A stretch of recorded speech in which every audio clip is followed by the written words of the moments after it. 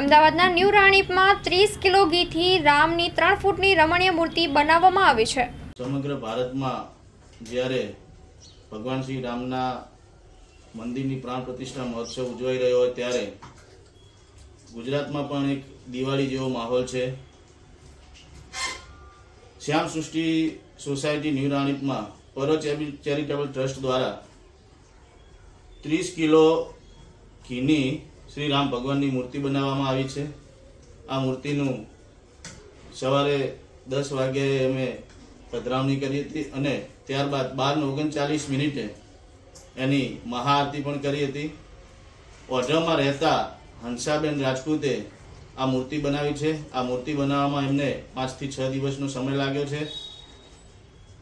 શ્યામ સૃષ્ટિ પરિવારમાં શ્રી રામ ભગવાનના મંદિરની પ્રાણ પ્રતિષ્ઠાના અલગ અલગ કાર્યક્રમો પણ યોજવામાં આવ્યા હતા.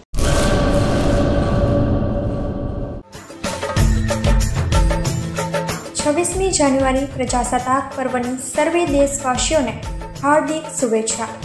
શુભેચ્છક. Ashapura tractors Madhapar highway Nalwara circle પાસે ભુજ કચ્છ.